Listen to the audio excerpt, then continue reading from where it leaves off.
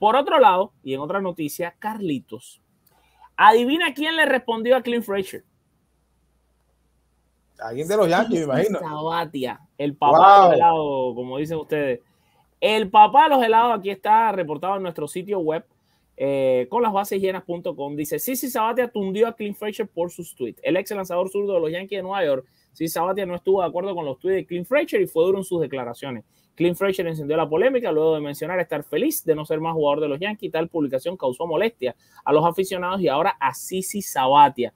Eh, esto, este artículo lo escribió nuestro queridísimo, espectacular Luis Gilbert López, escritor en español de los Yankees de Nueva York.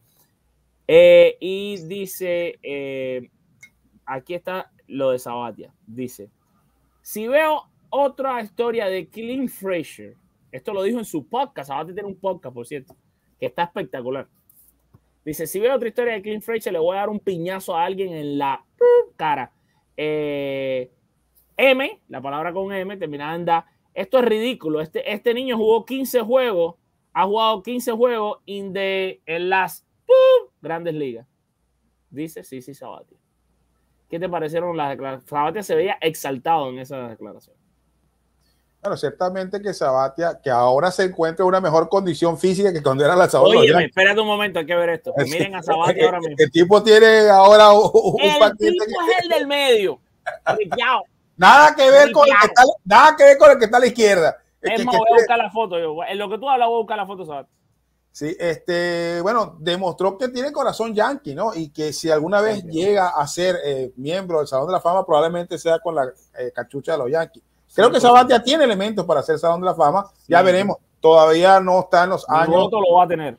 y, probablemente tú sí tengas chance de votar por Sabatia, porque no entendería que Sabatia no es un 100%, pero sí, primera, sí.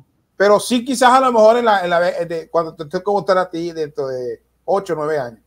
Eh, ¿Qué pasa con el amigo Clint Fraser? Clint Fraser está, para mí, está resollando por la herida, porque lamentablemente era un gran prospecto de los Yankees y por circunstancias de mala suerte, de lesiones, falta de confianza, lo que tú quieras. Ahí está, muchacho. Está mucho mejor que cuando estaba jugando. Papá, ¿por qué Sabate no regresa a jugar? Así como está, que tiene 102 millas, 103. Mira cómo está este tipo. Mínimo puede ser el tercer, el tercer pitcher de los Yankees. Pero mi hermano, esto sí es, oye, me, me inspira, Sabatia, me, es más, 10 de diciembre de 2021, me voy a ripiar como Sabatia. estoy, menos, un poquito menos gordito de lo que estaba Sabatia en su momento más gordito. Voy para arriba el lío, Carlito. Me voy a ripiar. Esta foto me ha inspirado. sí, sí, Sabatia eh, tiene en estos momentos 41 años de edad. Nació el 21 de junio de 1980. Y cuando se retiró, pesaba 300 libras. Este, creo que ahora este jugador, este exjugador de 6'6, eh, ha rebajado a menos unas 30, 35 libras y definido su cuerpo. Pero lo que tiene más definido es su pasión yanquista y le dio duro al amigo Green Fraser, que como digo, palabras incluidas. Como digo, lamentablemente para Fraser no pudo cuajar en eh, los Yankees de Nueva York, a pesar de que era un jugador con muchas perspectivas. Eh, Fraser, que tiene 27 años de edad, ahora, bueno, ya ahora forma parte del equipo de los eh, Cachorros de Chicago y eh, tratará de eh, resucitar su carrera con los Yankees en la última campaña.